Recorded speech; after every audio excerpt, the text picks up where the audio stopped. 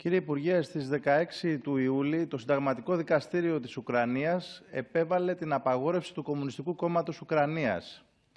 Στις 19 Αυγούστου απαγορεύτηκε από το Διοικητικό Δικαστήριο του Κιέβου η κυκλοφορία της εφημερίδας Ραμπότσα για Γκαζέτα του Κομμουνιστικού Κόμματος Ουκρανίας. Επίσης, του απαγορεύτηκε και το δικαίωμα να κατέβει στις εκλογές.